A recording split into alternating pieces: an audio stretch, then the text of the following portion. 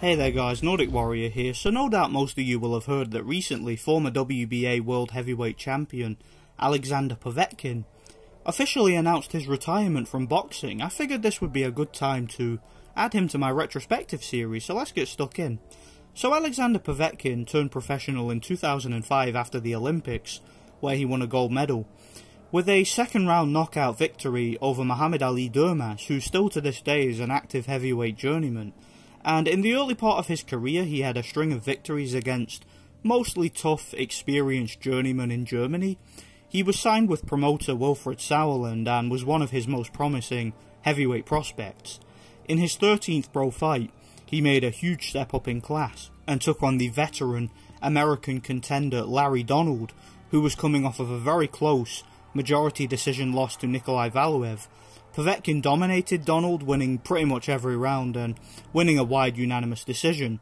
He then entered into the IBF Elimination Tournament for the right to challenge heavyweight champion Wladimir Klitschko.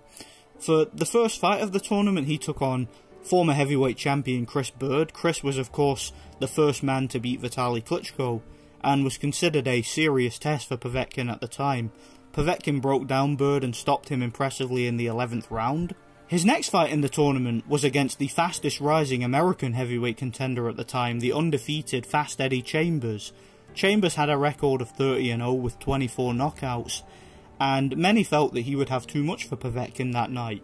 After a shaky start where Povetkin was hurt with some right hands early on, he came back into the fight and completely outlanded and outworked Eddie Chambers en route to a unanimous decision victory. While in negotiations for a fight against Wladimir Klitschko, he went back to Russia and took on American veteran Taurus Sykes, knocking him out in the fourth round. At that point in time, Alexander Povetkin hired Mike Tyson's former trainer Teddy Atlas to help him prepare for the fight against Klitschko, and rather than do that, Atlas actually convinced Povetkin to pull out of the fight because he believed that Povetkin would not be ready until he gained more experience first. So he went back to Germany and had three knockout victories against Leo Nolan, Javier Mora, and Teke Oruh, and then had a points decision over 10 rounds against the American Nicolai Firtha.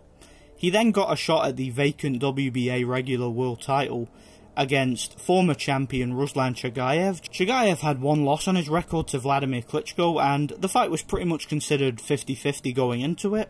Povetkin pretty much dominated the fight, winning by a wide unanimous decision and becoming the WBA heavyweight champion.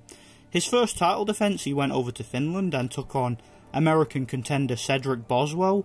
Boswell was 42 years old and was one of these late bloomers in boxing who started late. He had only one loss going into the fight, and it was on a shoulder injury in a fight he was winning to Jameel McCline over in America. Povetkin dominated the fight and brutally knocked Boswell out cold in the eighth round. After the Boswell fight, he had a dispute with his former trainer Teddy Atlas over comments that Atlas made about Povetkin's promoter Sauerland and his manager, so he fired Atlas and went back to his old coach. His next title defense was against WBO World Cruiserweight Champion Marco Huck in Germany.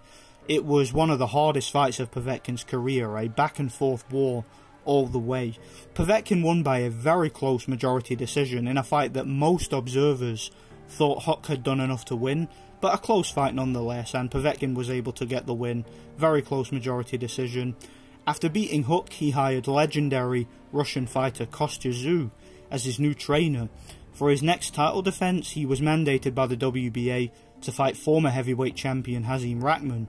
Rahman was 39 years old and definitely way past his prime, but had earned his mandatory position to fight Povetkin. Povetkin stopped Rahman in two rounds in a dominant performance with Rahman having no chance. After beating Rahman, he went back to Russia and took on the undefeated Polish heavyweight contender Andrei Wawrzyk, and he completely dominated Wawrzyk. He knocked Wawrzyk out in the third round, and that fight set up a long anticipated showdown with Wladimir Klitschko. Klitschko dominated Povetkin over 12 rounds, giving him the first loss of his career. The fight was controversial, with Wladimir doing a lot of holding and a lot of leaning, so Povetkin really had a rough night. And I'm surprised that he never needed chiropractic care afterwards, because Wladimir was basically riding him like a rodeo. After losing to Klitschko, he came back with some knockout victories against Manuel Charr, Carlos Takam, and Mike Perez, and a 12th round TKO victory over Mariusz Wach on a cut. His next fight he took on Frenchman Johann Duhaupas, winning by a brutal 6 round KO. Had a couple of decision victories over Andrei Rudenko and Christian Hammer. Then went over to Cardiff and won a brutal 5th round KO against the chinny but dangerous David Price. Povetkin was hurt badly in the third round but came back to knock David Price out in the fifth. He then got himself a shot at unified world heavyweight champion Anthony Joshua. After a very good start where Povetkin had Joshua hurt and appeared to be winning the fight clearly, he started to tire midway through the fight and was brutally knocked out in the seventh round by the much bigger, much younger Joshua, giving Povetkin the second defeat of his career. By that point, Povetkin was 39 years old and his stamina and speed had regressed significantly. He looked as if he was on the verge of retirement. He came back a year later and completely schooled the young French contender Hughie Fury in the UK. He then went over to Saudi Arabia and took on Michael Hunter. The fight was officially scored a draw, but I personally had Povetkin winning very clearly. He then got a shot at the WBC interim champion Dillian Whyte. in a shock upset, Povetkin survived two knockdowns to come back and brutally knock Dillian Whyte out in the fifth round with a perfectly well placed left uppercut. He had a rematch with Whyte the following year. By this point, Povetkin was 41 years old. He was recovering from pneumonia, had an injury, and looked a shadow of his former self. He really didn't look in good shape for that fight, and he was stopped in four rounds by Whyte and retired shortly after. So, how good was Alexander Povetkin? How would he have done if he were still at his prime now or in any era besides his own? Let's talk about it. Now, long-time followers of mine will know that Alexander Povetkin is one of my personal favourite fighters.